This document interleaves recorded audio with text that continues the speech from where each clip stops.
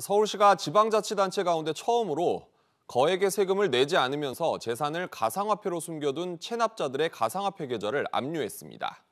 그리고 매각하겠다고 하자 그동안 돈이 없다며 버티던 사람들이 세금을 곧바로 내면서 매각만은 말아달라고 읍소하는 촌극이 벌어졌습니다. 신윤철 기자의 보도입니다. 서울 강남구에서 병원을 운영하는 의사 A씨는 지방세 10억 원을 내지 않고 버티면서 몰래 가상화폐를 사들였습니다. 이렇게 모은 가상화폐는 125억 원어치. 서울시가 이런 사실을 파악하고 가상화폐를 압류하자 A씨는 가상화폐를 매각하지 말아달라며 밀린 세금 중 5억 8천만 원을 현금으로 납부했습니다.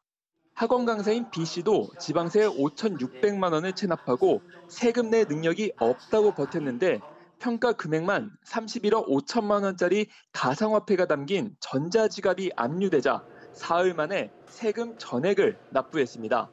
가상화폐 가격이 폭등하자 밀린 세금을 내고 압류를 푸는 게 이득이라고 판단한 겁니다.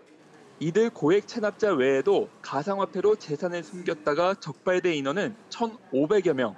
서울시 38 세금 징수과는 이 가운데 676명의 가상화폐를 압류했는데 현 시세로 251억 원에 달했습니다. 2018년도에 대법원에서 어, 이게 이제 압류가 가능하다라고 하는 최종 판결이 있었고요. 체납자들도 가상화폐를 보유하고 은닉 수단으로 충분히 가능하겠다라고 하는 이제 그런 생각을 가져서 저희들이 올해 1월부터 뭐 법령 검토나 판례 이런 것들을 시작을 하게 됐고요. 서울시는 아직 압류되지 않은 나머지 800여 명에 대해서도 압류 조치를 진행하고 추가 조사를 이어나갈 예정입니다. SBS 비즈 신윤철입니다.